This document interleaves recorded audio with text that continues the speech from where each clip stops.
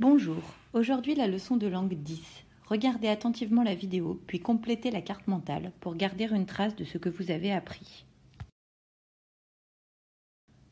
L'imparfait et le passé simple sont les deux principaux temps employés dans un récit au passé.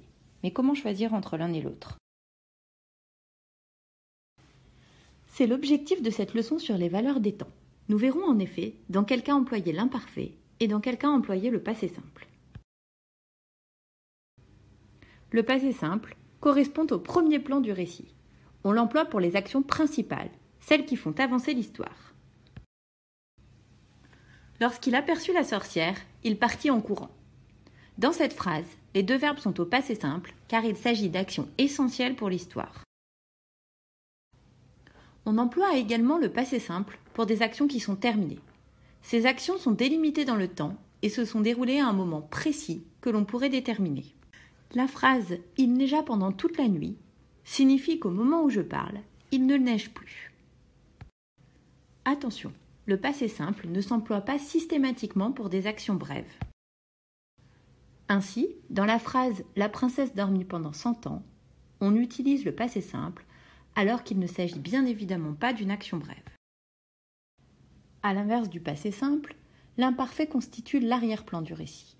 On l'emploie pour des actions secondaires qui ne font pas avancer l'histoire. Dans la phrase Elle était en train de cueillir des baies lorsqu'elle aperçut un zèbre, l'action de cueillir des baies est secondaire, d'où l'emploi de l'imparfait. Comme il constitue l'arrière-plan du récit, l'imparfait est souvent le temps de la description. Ainsi, cette description de la sorcière est-elle entièrement rédigée à l'imparfait. Comme la plupart des sorcières, elle avait un nez crochu et une verrue sur le menton. Elle portait un chapeau noir et chevauchait un balai.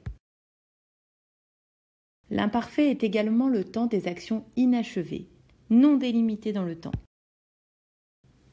La phrase Il neigeait depuis trois heures est conjuguée à l'imparfait, car au moment où elle est prononcée, il neige encore. Enfin, on peut employer l'imparfait pour exprimer l'habitude ou la répétition.